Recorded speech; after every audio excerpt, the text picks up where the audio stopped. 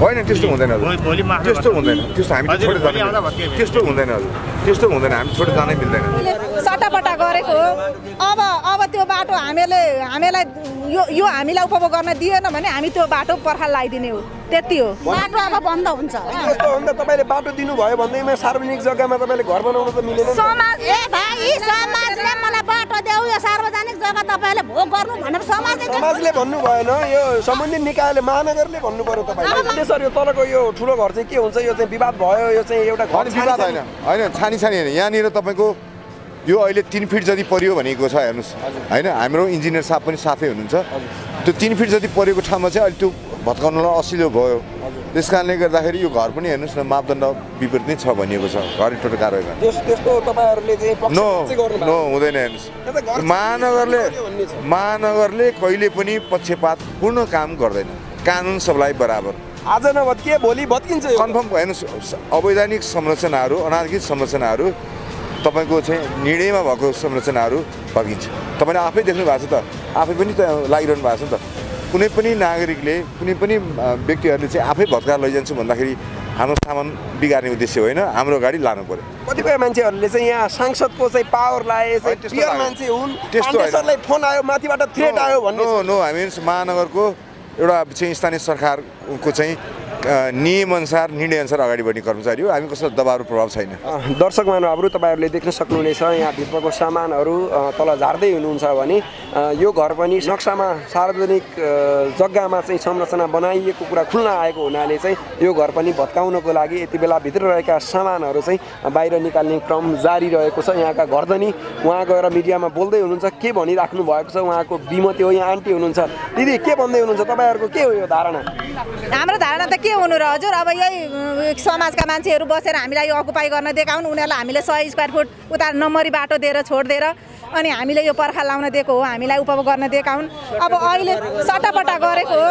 अब अब त्यो बाटो हामीले हामीलाई यो यो हामीलाई उपभोग गर्न दिएन भने हामी त्यो बाटो पर्खा लगाइदिने हो। त्यति हो। भन्नुको मतलब तपाईँहरूले चाहिँ यसको यो जग्गाको बदलामा बदलामा हामीलाई नम्बरी जग्गा दिएर किनिदिएर बाटो खोलिदिएको छ हामीले समाजलाई। अब चाहिँ के हुन्छ? अब के हुन्छ? अब केही पनि हुँदैन अब पर्खा लाग्छ। तपाईँहरूसँग यसको कागजातहरू छ। सबै थोक छ सबै थोक छ हामीसँग। कागजात किन हुँदैन? सबै यहाँ बोकिराख्नु भएको छ अब यही समाज जान्छ भोलि हामीलाई बाटो चाहियो भन्दै हाम्रो नम्बरी जग्गाको बाटो हो। हामीले समाज हिँडोस् भनेर बाटो दिएको छ। त्यो बाटो अब बन्द हुन्छ।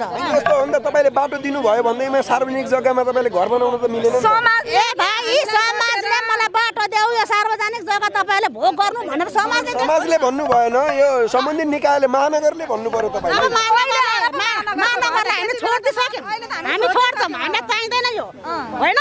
हामी हाम्रा बाटो फिर्ता लिन्छौँ। हामीलाई पास गरेको छैन। किता काट गरेको छैन। हाम्रा बकैदा हाम्रा लाल पूर्जामा छ। भोलि हाम्रो त बन्द हुन्छ। अनि यिनीहरू फेरि महानगरपालिकामा जाउँ न।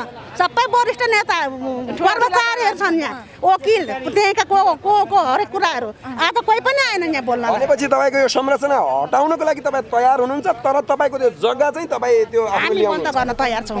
संरचना त हामी हटाउँछौँ। अर्काको सम्पत्तिमा हामी लालत गर्दैनौँ। भोलिको दिनमा समाजको लागि हामीले गरेका थियौँ। समाज अब चिनियो। समाज अब हामीले छोडिदियौँ। हामी। यसो छोडिदिन्छौँ। हामी अर्काको सम्पत्ति लिँदैनौँ। होइन त्यस्तो हुँदैन त्यस्तो। हुँदैन। त्यस्तो हामी छोडेर जानै। त्यस्तो हुँदैन हजुर। त्यस्तो हुँदैन। हामी छोडेर जानै मिल्दैन। अलरेडी भनेर चाहिँ मानेको छैन हजुर। त्यस्तो हुँदैन।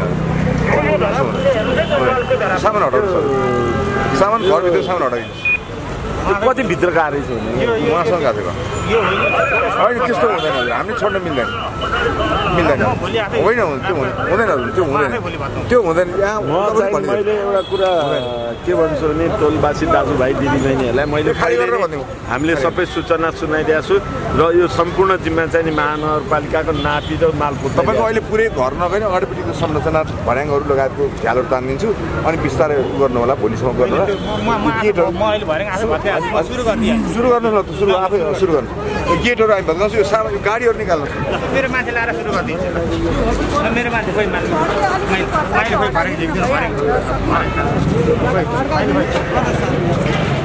दर्शक पनि देख्न सक्नुहुन्छ यहाँ चाहिँ उहाँ आफैले भत्काउँछु भनेर राजन सरलाई भनिसकेपछि ठिक छ तपाईँले भत्काउनुहोस् भनिसकेपछि उहाँले आफैले भत्काउन खोजिराख्नु भएको छ र यहाँ चाहिँ उहाँले आफूले किन्नु भएको थियो तर यो किन्दाखेरि चाहिँ उहाँलाई थाहा थिएन। यो चाहिँ यस्तो सरकारी जग्गामा पर्छ भनेर सम्पूर्ण कुराहरू त थियो तर यहाँ नापीमा नभइसकेपछि यो सरकारी जग्गा भइसकेपछि यतिखेर उहाँको यो घर पनि भत्किनेवाला छ दर्शकबिन पूजा समस्या छैन।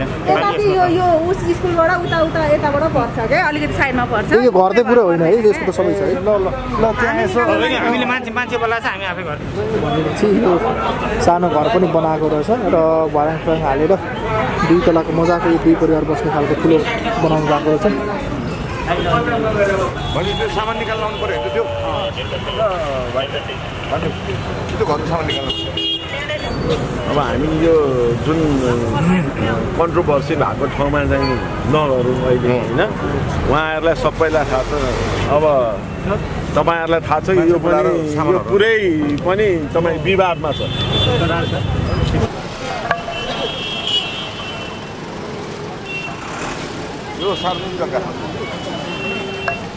दर्शक महानुभावहरू यति बेला तपाईँहरूले देख्न सक्नुहुनेछ यो घर अनामनगरमा चाहिँ यो जुन जुन घरहरू चाहिँ सार्वजनिक जग्गामा बनिएका छन् ती घरहरू चाहिँ भत्काउन पारिरहेको छ। यति यो घर भत्काउनको लागि धेरैचोटि भनिसकिएको भए तापनि अहिलेसम्म कुनै सामानहरू यहाँबाट नहटाइसकेको हुनाले यतिखेर काठमाडौँ महानगरपालिकाका प्रहरी प्रमुख राजु पाण्डे आफै स्वयं भित्र गइसक्नु भएको छ। भित्रको माहौल के छ के भइरहेको छ तपाईँहरूलाई हामीले प्रत्यक्ष देखाइरहेका छौँ कैद गरिरहेका गरिराखेका छौँ क्यामेरामा। यो दृश्य देख्न सक्नुहुनेछ। यहाँ चाहिँ के भन्दै हुनुहुन्छ उहाँले? यद्यपि बाहिरबाट केही सामानहरू नहटाएको जस्तो देखिए पनि भित्रबाट चाहिँ सामानहरू हटाउने कार्यहरू चाहिँ भइराखेको रहेछ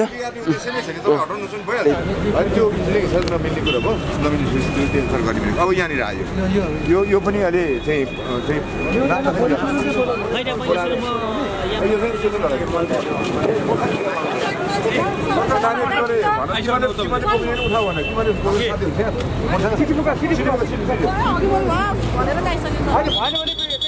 यो दृश्यमा देखिरहेको यो घर केही दिन अगाडि यो घर भत्काएर गएको थियो महानगरले भने फेरि रिप्लास्टिङ गरे प्लास्टर गरेको यो दृश्य पनि तपाईँले देख्न सक्नुहुन्छ।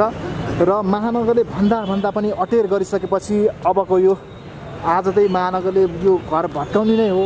यो खोला छेउमा रहेको यो सरकारी जग्गामा बनाएको यो घरहरू भत्काएर यहाँ चाहिँ एउटा पार्क निर्माण गर्ने भनेर अघि यहाँ प्रदेशको मन्त्री पनि आउनुभएको छ। दर्शक पनि देख्न सक्नुहुन्छ केही दिन अगाडि मात्र यहाँ महानगरले आएर यहाँ भत्काएको थियो भने यहाँभित्र तपाईँले फेरि पुनर्निर्माण गरेको पनि देख्न सक्नुहुन्छ भने यतिखेर महानगर चाहिँ अब यो पूर्ण रूपले जुन चाहिँ सरकारी जग्गामा यसरी ठुला ठुला घरहरू बनाएको छ त्यो घरहरू भत्काउनको लागि यहाँ महानगरको टोली सँगसँगै प्रहरी हामी देख्न सक्छौँ भने यहाँ तपाईँले देख्न सक्नुहुन्छ यति ठुलो जग्गा अतिक्रमण गरेर आठ तलासम्मको घरहरू यसरी निर्माण गरेर यहाँ विगत लामो समयदेखि यसरी भाडा असुलेर बसिराख्नु भएको छ भने तपाईँले माथि सक देख्न सक्नुहुन्छ काठमाडौँ महानगरको प्रमुख नगर प्रहरी राजुनाथ पाण्डेज्यू माथि नै गएर यसरी घरमा बस्ने भाडामा बस्ने दाजुभाइ तथा दिदीबहिनीहरूलाई सम्झाएर तपाईँहरूको सामान सुरक्षित साथ राख्नुहोला। यो घर भत्किनेवाला छ भनेर उहाँले सम्झाइराख्नु भएको छ। उहाँ आफै घरमा पुगेर यसरी यहाँको जनताहरूलाई यहाँ जो भाडामा बस्नुहुन्छ उहाँहरूलाई सम्झाइराख्नु भएको दृश्य तपाईँलाई अहिले हामीले देखाइरहेका छौँ। भने यतिखेर महानगरको टोली भित्र गएको छ। सामान